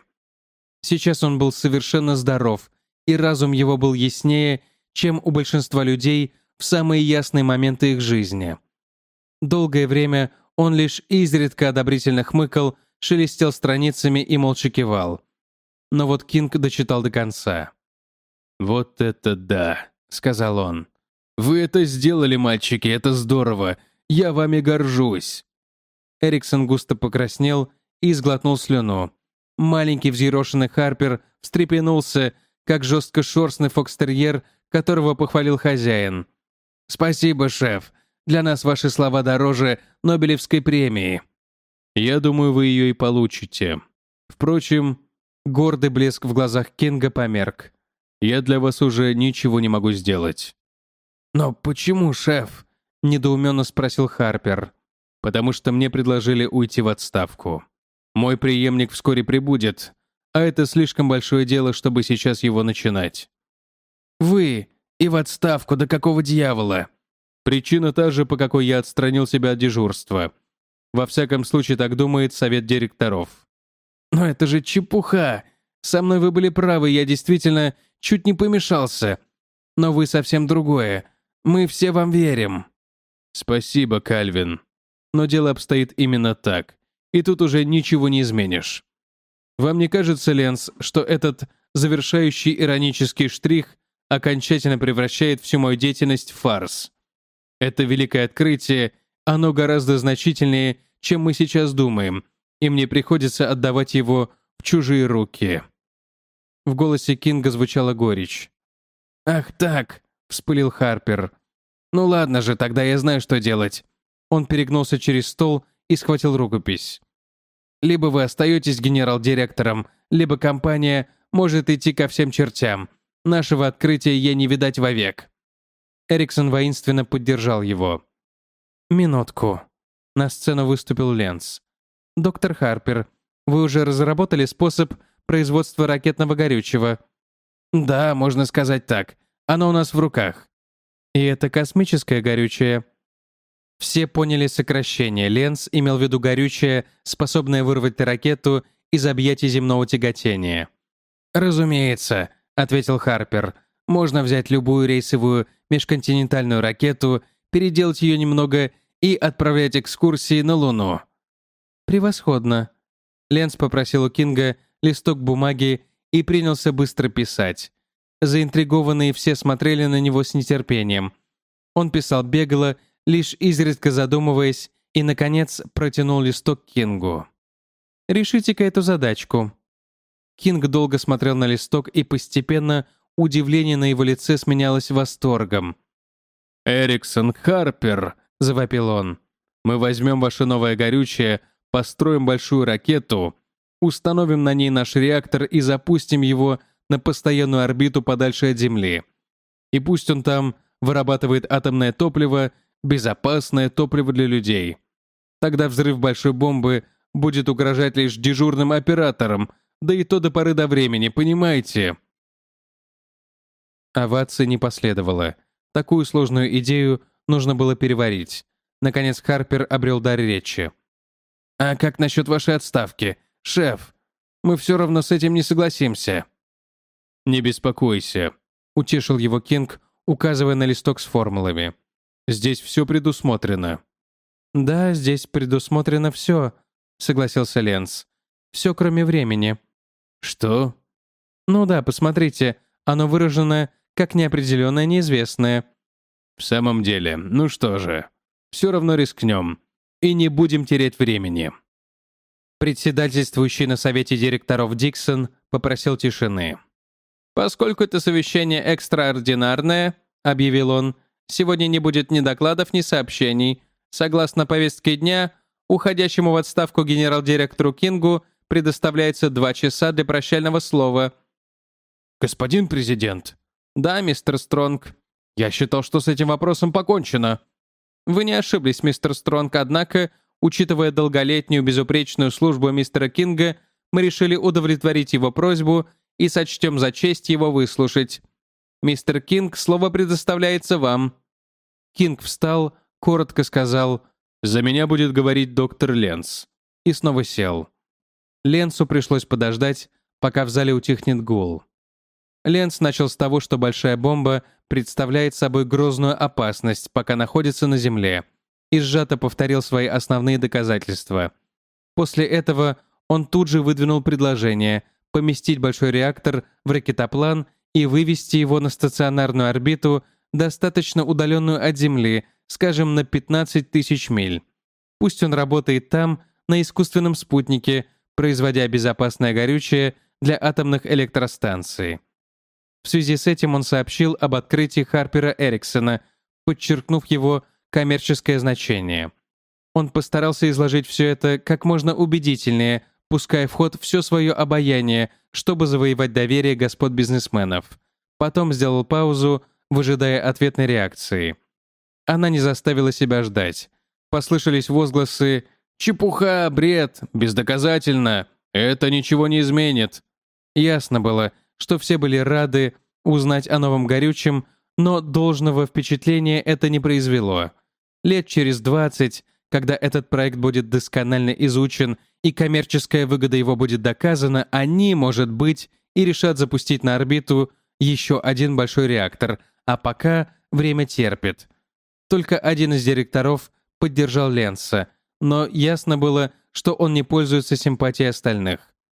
Ленс терпеливо и вежливо опроверг все их возражения.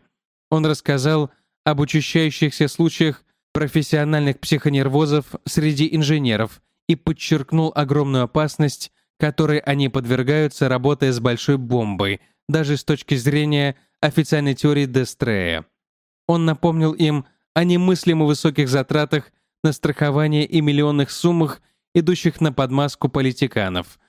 Потом он резко изменил тон и обрушился открыто и яростно. «Джентльмены», — сказал он, Мы считаем, что это вопрос жизни и смерти, нашей жизни и жизни наших семей, и не только их.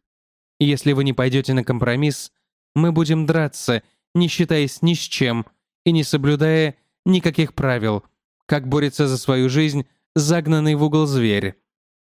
После этого Ленц перешел в наступление. Первый его ход был предельно прост. Он изложил подготовленный им план пропагандистской кампании в общенациональном масштабе. Так какая-нибудь фирма предупреждает своих конкурентов. План был подготовлен до последних мелочей. Тут было все.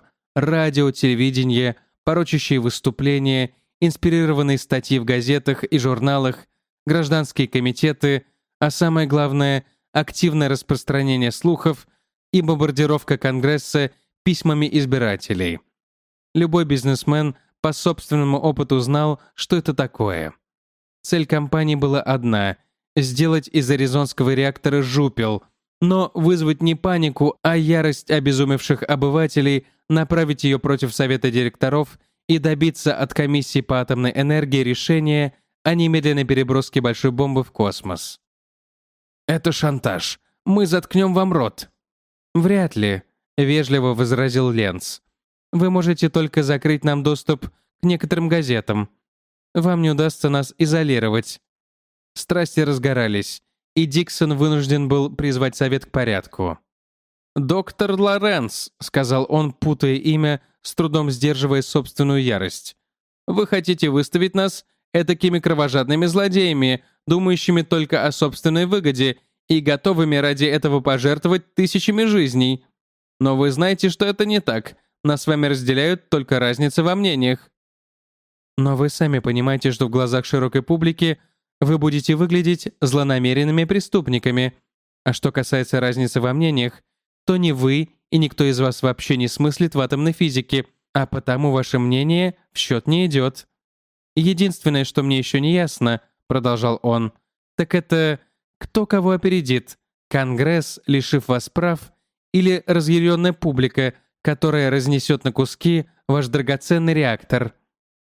И прежде чем они успели сформулировать достаточно продуманный ответ, прежде чем их бессильная злоба перешла в холодное упрямство, Ленц предложил им свой гамбит.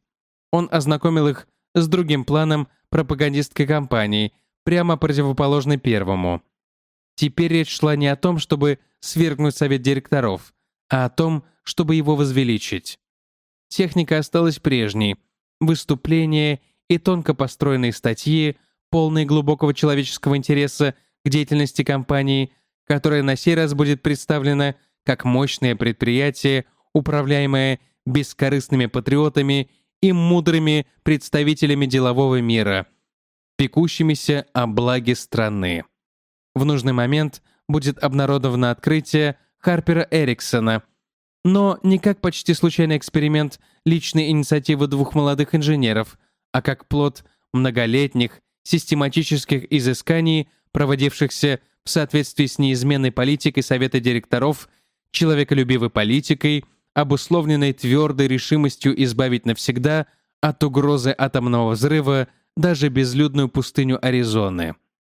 Об опасности нависшей катастрофы не будет даже упомянуто. Ленц обрабатывал их со всех сторон. Он долго распространялся о бесконечной признательности благодарного человечества. Он взывал к их благородству и, незаметно, передергивая карты, внушал им, что они настоящие герои. Он безостенчиво играл на самых сокровенных инстинктах представителей рода человеческого, для которого всегда приятно одобрение себе подобных, даже если оно незаслуженно. И с каждой минутой он выигрывал драгоценное время. Он перебирал одно за другим самые веские возражения, убеждал одного за другим самых твердолобых. Он был мягок с одними и жесток с другими, играя на личных интересах каждого. Для чувствительных религиозных отцов семейств он еще раз, не жалея красок, обрисовал страдания, смерть и разрушения, которые могли последовать из-за их слепой веры в бездоказательные и весьма рискованные допущения Дестреевской теории.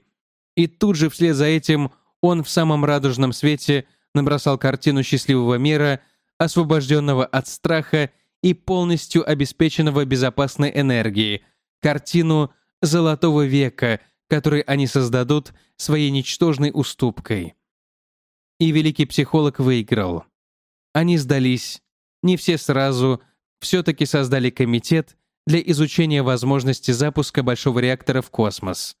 Ленц умело подсказывал имена, и Диксон утверждал их вовсе не потому, что был с ним согласен, но он был захвачен врасплох, и, не находя достаточного повода для отвода того или иного кандидата, просто боялся испортить отношения с коллегами. А уж Ленц позаботился о том, чтобы в комитет вошли все его сторонники. О предполагавшейся отставке Кинга никто даже не заговаривал. Ленц был уверен, что никто и не заговорит. Ленц выиграл, но дел впереди было не в проворот. Первые дни после победы Кинг воспрянул, надеясь, что он будет избавлен от убийственного постоянного страха и ответственности. Надежды его рухнули, когда ему любезно предложили в дополнение к прежним взять на себя новые обязанности. Харпер и Эриксон были откомандированы в распоряжение Годдардского центра. Там они вместе с ракетчиками должны были проектировать корабль для вывода на орбиту большой бомбы. Когда возбуждение первого периода после победы прошло, даже перспектива остановки реактора и его перемещения в космос не смогла спасти Кинга от вполне естественной реакции. Он мог только следить за своей большой бомбой и ждать, пока инженеры из Годдардского центра не справятся со всеми проблемами и не построят подходящий для реактора космический корабль. А там, в Годдардском центре, были свои трудности, за которыми возникали другие, все новые и новые. Еще никто не сталкивался с такими высокими скоростями. Пришлось перепробовать несчетное количество вариантов, прежде чем определена наиболее подходящая форма корабля. Когда с этим было покончено, и успех, казалось, был уже достигнут, внезапно, во время наземных испытаний, сгорели двигатели. И была еще одна проблема, совсем не похожая на проблемы, вставшие перед ракетчиками. Что делать с энергией, которую будет выбрасывать большой реактор на спутнике? Ее разрешили только в общих чертах, решив установить реактор не внутри, а вне спутника, безо всяких ограждений, чтобы он сиял, как маленькая звезда. Ученые надеялись, что со временем им удастся обуздать и эту лучистую энергию и направить ее к приемным станциям Земли. А тем временем генерал-директор Кинг ждал и от нетерпения грыз ногти. Даже возможность следить за работой Годдардского центра не приносила облегчения, и чем скорее продвигалась работа, тем насущнее, тем навязчивой становилась потребность отдавать все силы, все внимание большому реактору здесь, чтобы он, не дай бог, не взорвался в последнюю минуту. Кинг начал сам проверять дежурных инженеров, но от этого ему пришлось отказаться. Его посещения еще больше нервировали их, и двое помешались в один день, причем один во время дежурства.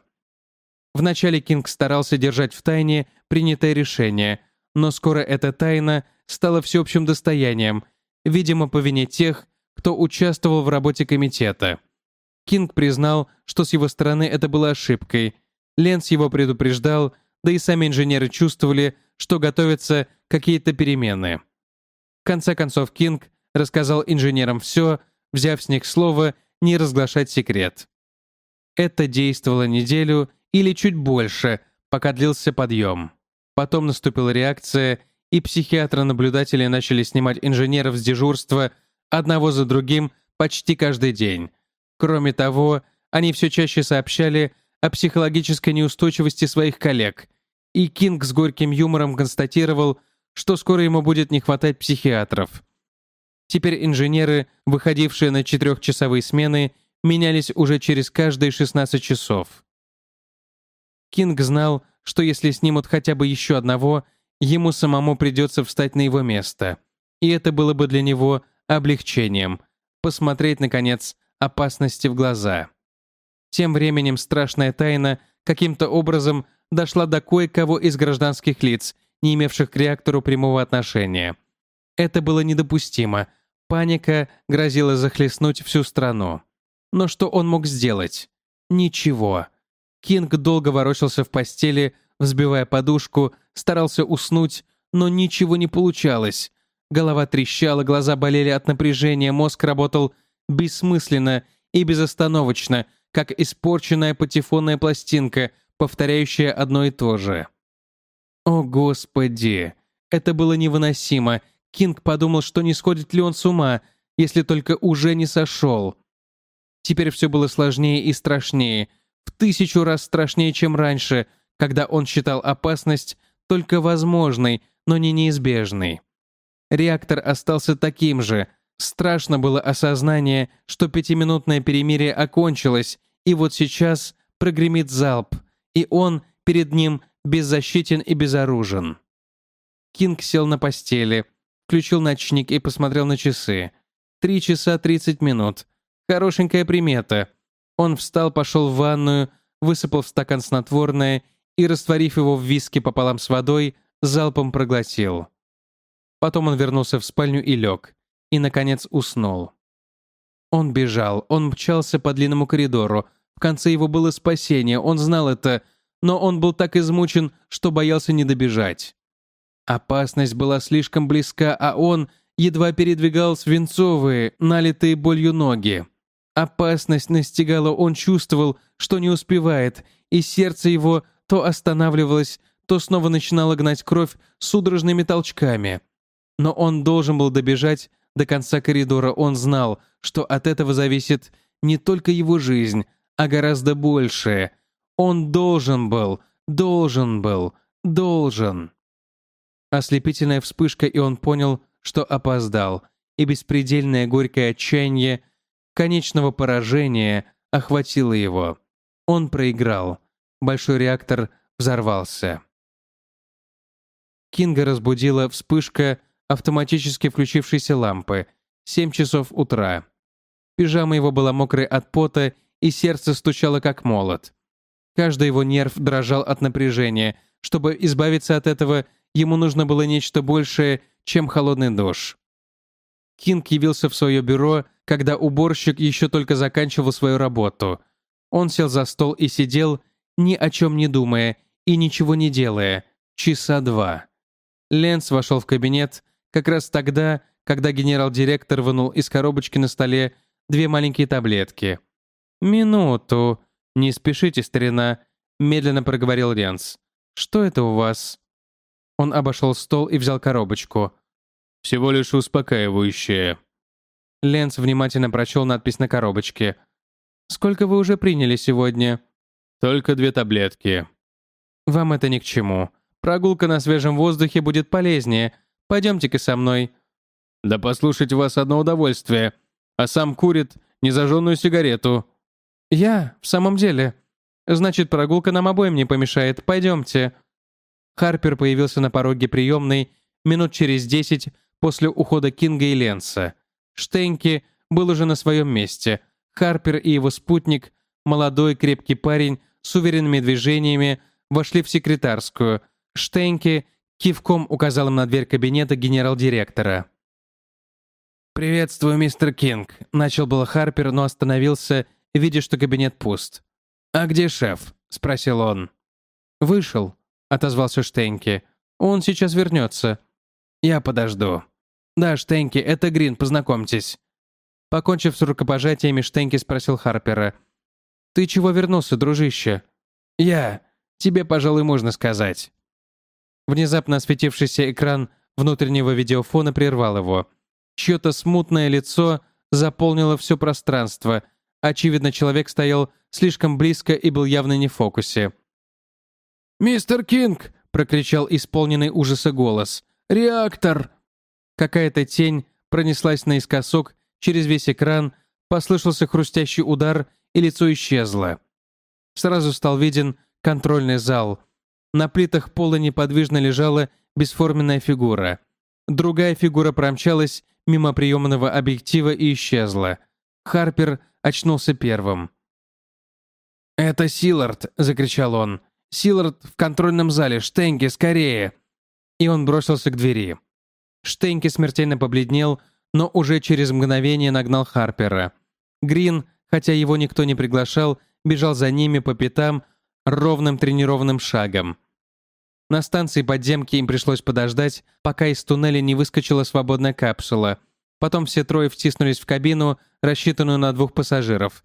Капсула не отходила, и они потеряли еще несколько секунд, пока Грин не вылез. Четырехминутное путешествие с наивысшим ускорением показалось им вечностью. Харпер уже подумал, что они застряли, когда раздался знакомый щелчок и вспыхнул свет. Они были под зданием реактора. При выходе они действительно застряли в узкой дверце, пытаясь выскочить одновременно. Лифта внизу не оказалось, и они не стали его ждать. Это было ошибкой. Во времени они ничего не выиграли и добрались до этажа, где находился контрольный зал, совершенно запыхавшись. Несмотря на это, они еще прибавили скорости, промчались бок о бок между щитами защиты и влетели в контрольный зал. Безжизненная фигура по-прежнему лежала на полу. Другая, такая же неподвижная, растянулась рядом.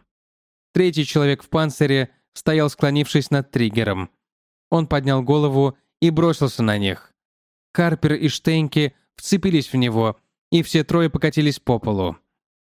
Их было двое на одного, но они только мешали друг другу, и тяжелый панцирь защищал их противника от ударов.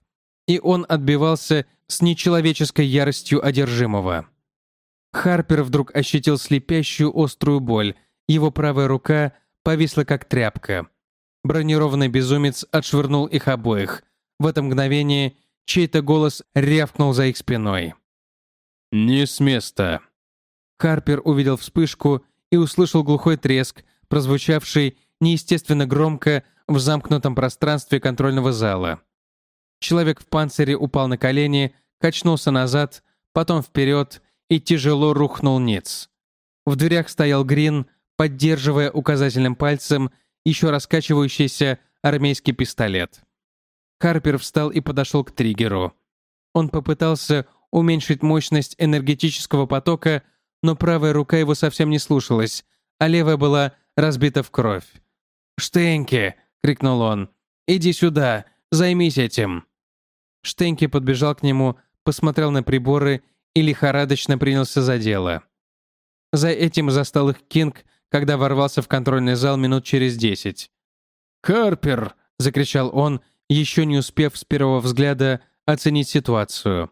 «Что здесь случилось?» Харпер коротко объяснил. Кинг кивнул. «Я видел самый конец вашей свалки из кабины». Но тут, посмотрев наконец на триггер, он задохнулся от ужаса и бросился к приборам. «Штенки! Ведь он же не может вычислять!» Штенки со счастливой улыбкой повернулся к нему навстречу. «Шеф!» — ликовал он. «Шеф! Я вспомнил все! Вспомнил всю мою математику!» Кинг остановился в изумлении. Он только кивнул и повернулся к Харперу. «А как ты здесь оказался?» «Я, чтобы сообщить вам, шеф, у нас все готово». «Что все?» «Я закончил работу. Эриксон завершает установку оборудования для реактора на большом корабле, а я прилетел на рейсовой ракете, которая будет доставлять атомное горючее с нашей бомбы на Землю. Вот мой штурман». И он указал на Грина, из-за широкой спины которого выглядывал подоспевший Ленс. «Одну минуту», — сказал Кинг. «Ты говоришь, у вас все готово для установки реактора на корабле-спутнике. Ты в этом уверен?»